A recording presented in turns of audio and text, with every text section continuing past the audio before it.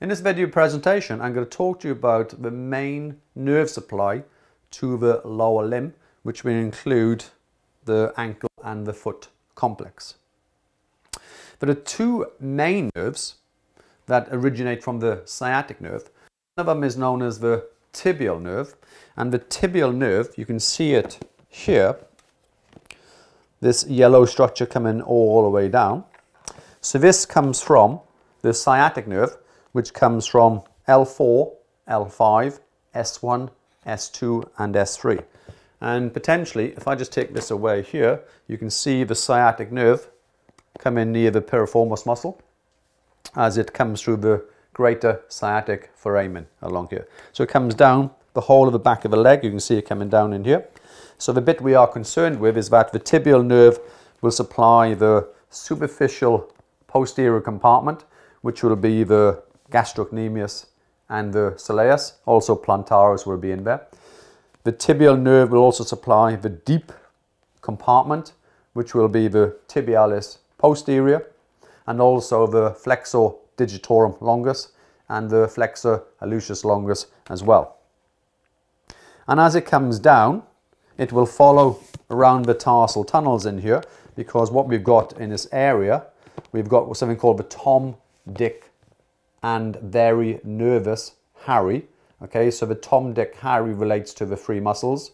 The tibialis posterior, the Dick is flexor digitorum longus, and then Harry relates to flexor hallucis longus. But also we've got the Tom, Dick, Ann, okay, which relates to the artery, which is the posterior tibial artery as it comes down. And then nervous relates to the nerve, which is the tibial nerve. So that'll follow the order. Okay, so it's Tom, Dick, and very nervous Harry. Yeah, as it comes through here.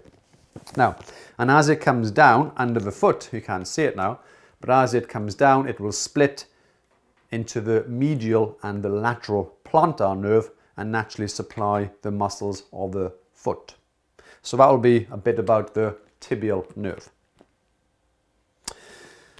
Posterior to the back of the thigh, the nerve of the sciatic also has another component which is known as the, either you can call it the common peroneal nerve, but it's also known as the common fibular nerve. The common fibular nerve, which is this one here, this yellow structure, comes from the sciatic nerve from L4 L5 and S1 and S2, whereas the tibial nerve has an extra component from the S3. So the peroneal nerve will come down, or the common peroneal or fibular nerve comes down, and then as it comes around the head of the fibula, it will split into two. We have the superficial fibular nerve here, and then this will supply the muscles of the peroneals, and that will be the peroneal longus and a peroneal brevis along here, or fibularis longus and fibularis brevis. So it only supplies those two. And then the continuation is into the deep fibular nerve, or the deep peroneal nerve, and then that will supply the tibialis anterior. Also supplies the EDL, the extensor digitorum longus, and then the small muscle underneath that called the extensor digitorum brevis. It also supplies this fibre called the fibularis tertius or the peroneal tertius along here. Uh, supplies the extensor hallucis longus, which goes to the great toe, which is the hallux. And I'm not sure if I mentioned, but also supplies the tibialis anterior. So this muscle group here, okay, comes down, which are really the, the dorsiflexors of the ankle and foot uh, because it also extends the great toe is supplied from the deep fibular nerve. There's also a sensory nerve which comes from the femoral nerve which is L2, 3 and 4 and is known as the saphenous nerve and it's the sensory component that supplies this medial side of the lower part of the foot in here. Okay, so it comes from the, the saphenous nerve. In terms of dermatomes, so think about a dermatome. Okay, we got myotomes. So myotome, what that means is it's like a muscle innervation from a nerve root. So when you lift your foot up, basically it is from L4 and L5 myotome that lift your foot up. To evert is mainly coming from S1 To invert will be coming from L4 and L5, and if you were to plantar flex, is mainly from S1. Now the dermatome is naturally an area of skin innervation from a nerve root. So this area of the medial shin is known as the L4 dermatome. The anterior shin, lateral shin here, come down onto the dorsal foot, including the great toe in some dermatome maps, will be from L5. So L5 dermatome areas here.